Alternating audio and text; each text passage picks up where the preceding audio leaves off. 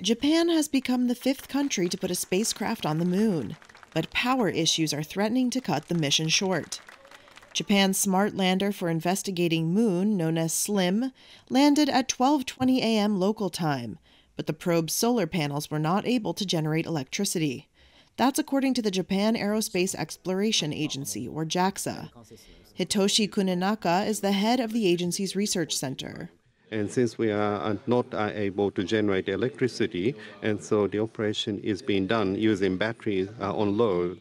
Kuninaka said the lander's solar panels might be at the wrong angle, but JAXA is hoping a shift in sunlight can help restore its functions.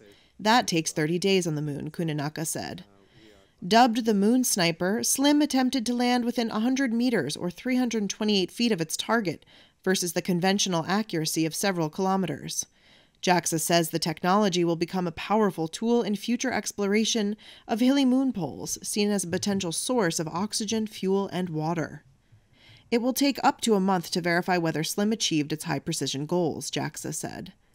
Japan is increasingly looking to play a bigger role in space exploration, partnering with the U.S. to counter China. The country is home to several private sector space startups, and JAXA aims to send an astronaut to the moon with NASA's Artemis program in the next few years. But there have been recent setbacks in rocket development, including the launch failure of its new flagship H 3 rocket last March.